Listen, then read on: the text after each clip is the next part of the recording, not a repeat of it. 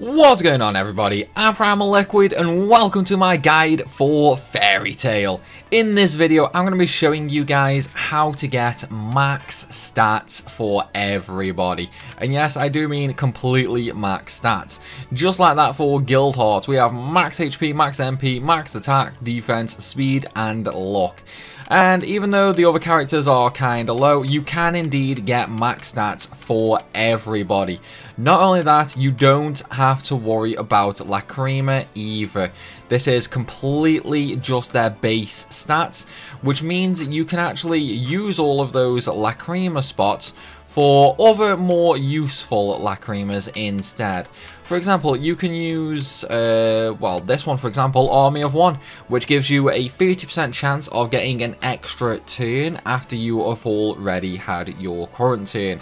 And then you've got other ones like ones that heal you every turn, restore your MP, and things like that. Because it basically eliminates the need to have the uh, stat boosting Lacrimas. So, how do you do it? Well, first things first, you are going to have to be in post-game. That means you need to be in the epilogue and you need to have completed all six episodes in there. Once you've done that, you will receive Ultear's Crystal from Jellal. Now, what this does is basically it'll allow you to earn an extra set of points. Now, if you look on the top right there, it's got levels needed and points needed. The points needed is what you can earn once you get this crystal.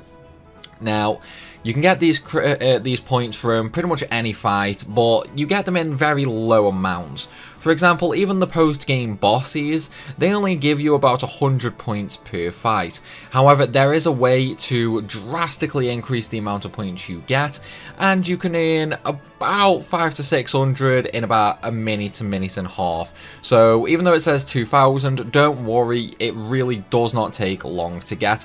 And in fact, you'll actually get the full 2000 longer before you get the 99 levels needed. Because yes, in order to use this crystal, you do have to get level 99 on the character that you want to use it for. However, again, do not worry about that. Getting level 99 is incredibly, incredibly easy, and I will show you how to do that as well. Okay, so first things first. Now, I've already done... Um, like a refresh with Natsu, for example. So I'm going to show you a character that I've not done a refresh on, like Ichiya. So what this crystal will do is, it'll take your level 99 and your 2000 points, you will spend those 2000 points and effectively reset your character back down to level 1. Like for example, if you look down in the bottom right there, you can see what my stats will be instead. So for Ichiya, he will go back down to level 1, However, if you look at his base stats, so for example, normally Ichiya at level 1 will have 528 health, 56 MP, 36 attack, 42 defense, 44 speed and 57 luck. However, once you get to level 99 and you use Ultear's Crystal to reset him back down to level 1, his base stats will then be even higher. So the green stats on the right will be his new stats at level 1. And then if we press triangle to toggle the info, we can see what his stats will be at level 99. So currently Ichiya's stats are 468 MP, 370 attack, 377 defense, 475 speed, and 466 luck. However, once we actually you know, convert him over to the upgrade with Ultear's Crystal. Once we get him to level 99, his stats will then be massively higher at 590 attack, 597 defense, and so on and so forth. And you can do this more than once. For example, Natsu, I've already done it once on him, however I do need to do it again just to completely max him out. Now, there are other benefits for this as well. For example, you will actually be able to upgrade your skills even further. So if I just uh, bring up Natsu's skills here, uh, let's see, where are we? There we go. Okay, so right now, as you can see, I've got a few 3 and 4s. However, Ultra Fire Dragon Iron Fist and Ultra Fire Dragon Roar, for example, they were originally only 2 bars. However, now they are 3 bars, and that's because during the initial upgrade, his skills actually leveled up as well, which means as long as you actually keep expanding the magical foundation with those characters, you will also be able to increase the power of your skills all the way up to 5 bars. So, for example, let me just uh, quickly reset everybody, and then we will go ahead and uh, start working on the leveling side of this, because I'll show you guys how to earn the 2000 points and hit level 99 incredibly, incredibly quickly. Okay, so once you actually reset the characters, a few things that you are going to need as well. The first one is going to be the pool. Now, the pool will allow you to use an ability called Link Hunt out in the field, and this effectively lets you fight a ton of monsters at a much higher level than normal.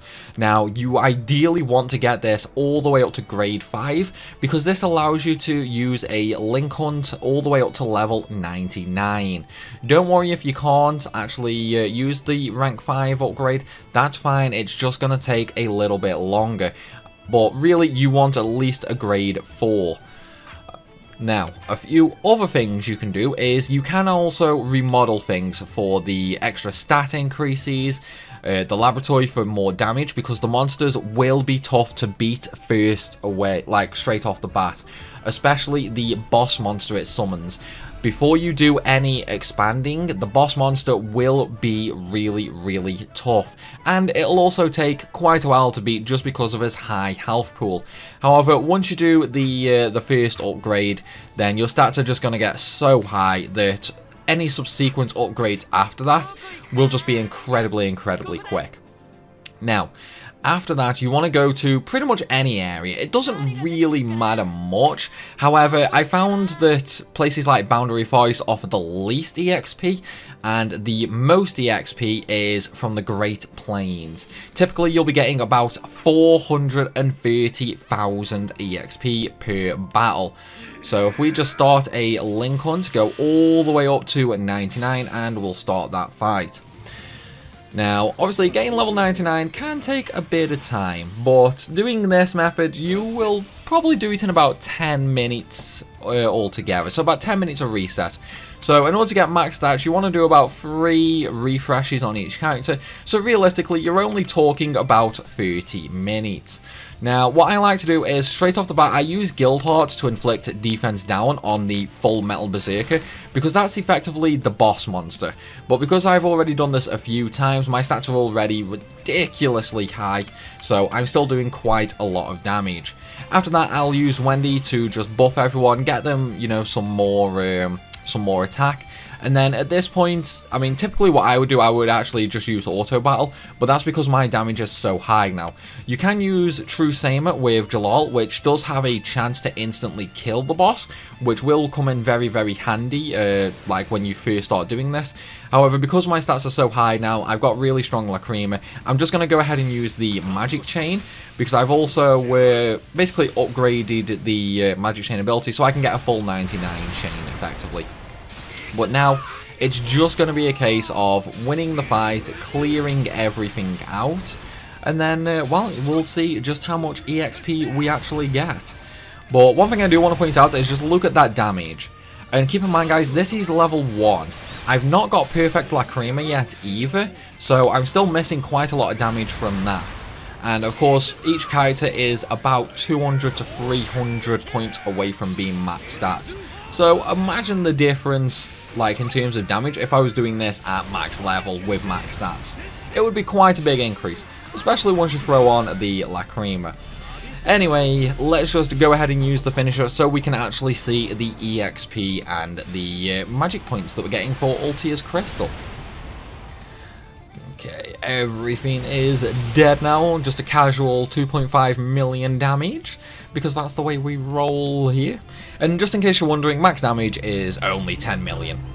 Okay, so right off the bat there, 424,690 EXP. That is obviously with the EXP bonus for the 10% for using the magic chain, but I've gone from level 1 straight up to level 51, and if you look just below the, uh, the level up bar, you'll see I have 580 points right now. This is by far the fastest way to gain these magic points, because it means you only actually have to do 4 of these link hunts before you have the full 2000 points. Now, conversely, if you were to just do a regular battle, even in the highest level area, you would only gain about 5 to 6 points a fight, and even the level 99 post-game bosses only give you 100 points. So this way is definitely above and beyond, like, just that much faster. And of course, if we take a look at the stats now, we are completely capped on Natsu for HP, MP, attack, and defense. Speed is nearly there, and so is luck. But obviously, he's still got another 49 levels to go. So his stats are going to be maxed out very, very easily uh, once he gets to level 99. Same thing with Jellal. Guild Hearts, I mean, Gildarts by far has the biggie stat pool at the very start anyway. It's like, as soon as you unlock Gildarts, like before you even get Ultear's Crystal, he's a good 150 to 200 points higher than anybody else in the game. So Gildarts you can max out actually only doing one refresh basically, but you know, might as well get the second one. Laxus, again, just speed and luck.